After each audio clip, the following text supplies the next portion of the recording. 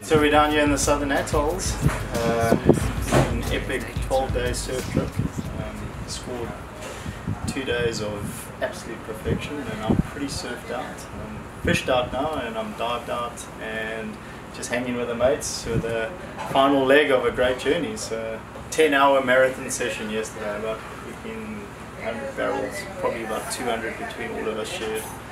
Um, just epic, epic, epic. I think also traveling with a, a legend like Sean is, is also it's, it's quite a blessing to see a wave in Maldives get absolutely ripped apart. No, it's quite irritating as well. It's quite irritating, but it's amazing. It shows you how bad you surf. Yeah, oh, but it shows you how well the wave can be surfed. There's a difference. So, you know, not only are other charter boats in awe of the wave, but that, you know, traveling with the ledge makes it different.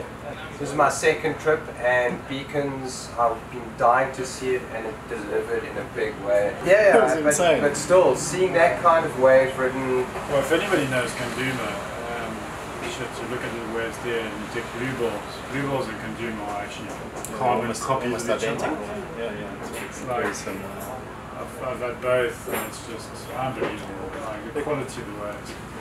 also I mean, top- the, my top first trip was, you know, to the Northern Atolls, and I mean, amazing ways. I had cokes and uh, and chickens, and it was just nuts. We had it at eight feet, and it was perfect. And you know, surfing beacons, you know, yesterday and today was, you know, it's, I find the Southern Atolls just got a little bit more energy, um, a little bit more intense as well. And then Central Atolls, Kandooma was just perfect. I mean, we scored it. I mean, we had ten days of You got 46 lucky. feet. I, got, I, I probably got lucky, but you know, for me, the the best thing about these trips and coming to the Maldives as opposed to going anywhere else in the world is is just that you you're able to pull a crew together of you know really cool guys, different ages, and you can spend your evenings freaking having a good chat about you know real life stuff and. Um, you can surf the whole day, or you can go fishing and go diving. Everybody's just having an absolute blast. And there's a rip. Pumping, pumping, pumping. Time for lunch! 15 hours straight, we were on it.